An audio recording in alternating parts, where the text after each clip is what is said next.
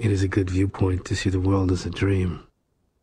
When you have something like a nightmare, you will wake up and tell yourself that it was only a dream. It is said that the world we live in is not a bit different from this.